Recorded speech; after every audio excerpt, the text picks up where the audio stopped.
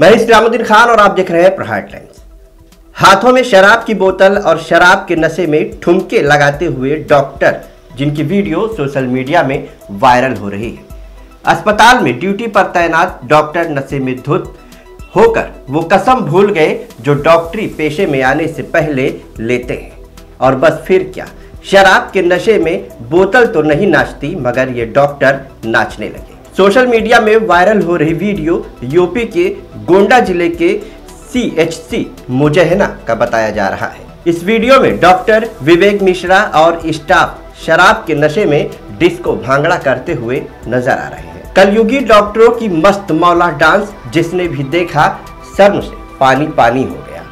जरा देखिए तो नशे में धुत डॉक्टर और स्टाफ अस्पताल परिसर को ही मैखाना बना दिया। फिल्मी गानों पर इनके पैर थिरकने लगे और कमर बल खाने लगी। इस डांस का वीडियो जब सोशल मीडिया में वायरल हुआ तो आला अधिकारी भी हरकत में आ गए। बताया जा रहा है कि शराब के नशे में जलवे बिखेरते डॉक्टर और स्टाफ का ये वीडियो तीन साल पुराना है, जो अब सोशल मीडिया में वायरल हो रहा है।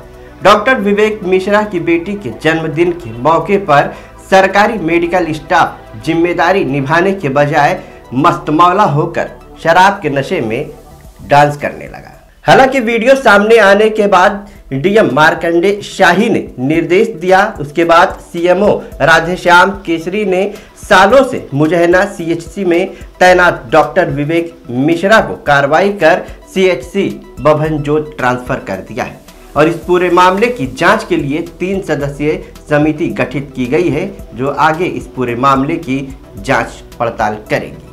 गोंडा से हामिद अली की रिपोर्ट